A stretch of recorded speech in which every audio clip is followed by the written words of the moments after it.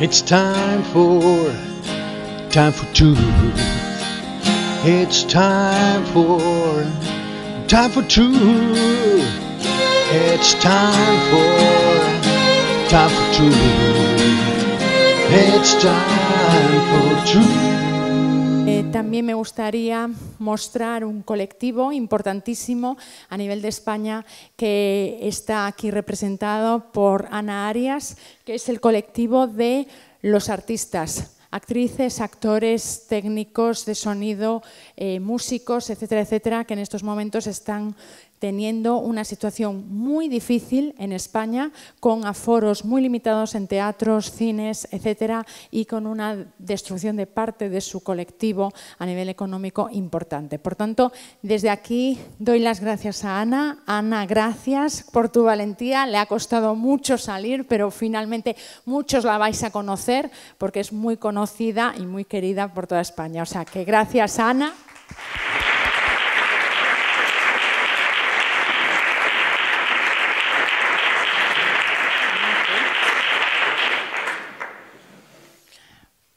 Bueno, un beso.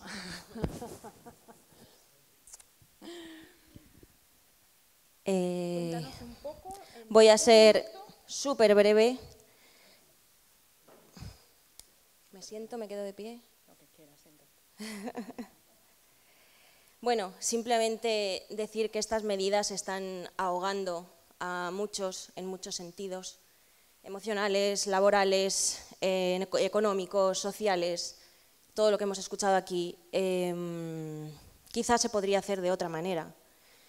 Eh, quizás se podría hacer de una manera en la que tantas familias no estén entrando en la pobreza prácticamente, porque la cultura se está ahogando, se la está ahogando con unas medidas que a veces eh, a nuestro colectivo nos resultan un poco incoherentes. Por ejemplo, yo para venir aquí desde Madrid venía en un AVE que estaba lleno, todos pegados así, los unos junto a los otros, con la mascarilla, pero todos pegados, hablando por teléfono, quitándose sin ningún tipo de problema, o, en, los aviones, o, en, bueno, en fin, el metro, hay, mucho, en las terrazas. No, mm, es, es difícil para nosotros comprender que, un virus sea letal eh, dentro de un teatro y, no lo sea en, una terraza o en un metro. Nos, resulta complicado de entender, sobre todo cuando hay tanta gente que, se está, que, está pasando hambre. Entonces, eh, por eso es por lo que hemos creado artistas y técnicos por la verdad. Para... Me he equivocado. Es por la libertad. Eh, nuestro colectivo somos, eh, representamos el 3,2% del Producto Interior Bruto de nuestro país y, el presupuesto es únicamente el 0,6%, lo que se nos da de vuelta. Las ayudas son totalmente insuficientes. Em, creo que quizá deberíamos plantearnos que se pudiera hacer de otra manera. A ver, tengo aquí un jaleo. Eh, en fin, es que los teatros están al 30%, al 30%, al 30%, no se permite que entren más. Eso cualquier productor sabe que, no es rentable. y no, es, rentable quiere decir que no se puede pagar a todo el mundo, que no todo el mundo puede hacer la compra.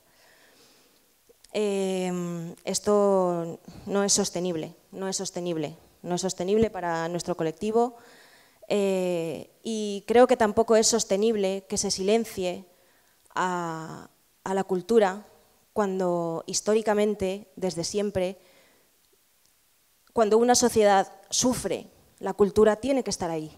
Y en este momento estamos sufriendo. Eh,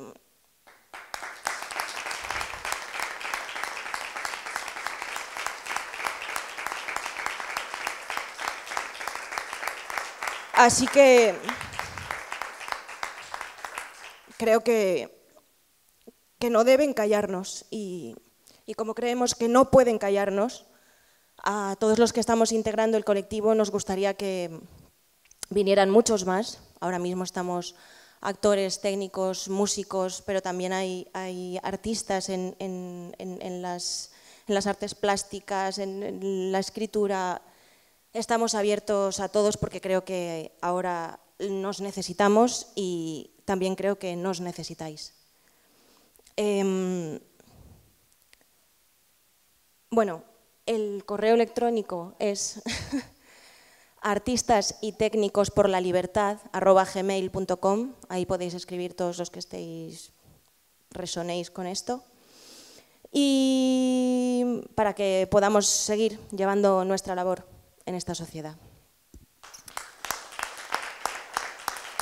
Y quería acabar leyendo un poema pues lo voy a leer. voy a leer el poema porque creo que al final siendo artista, mm, más que hablar, creo que lo que puedo hacer es esto. Y ciertamente em, me faltaría un director, un técnico de luces, me faltarían muchas cosas, me faltaría, pero músicos, pero bueno, voy a leer. Y es un poema que tiene su tiempo, pero creo que es bastante actual.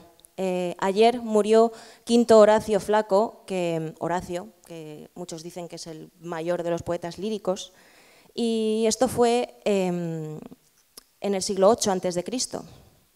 Pero aún así, creo que hoy sus palabras, bueno, me gustaría que nuestro colectivo nos despidiéramos con ellas. Allá voy. Aprovecha el día, no dejes que termine sin haber crecido un poco, sin haber sido feliz sin haber alimentado tus sueños. No te dejes vencer por el desaliento. No permitas que nadie te quite el derecho de expresarte, que es casi un deber.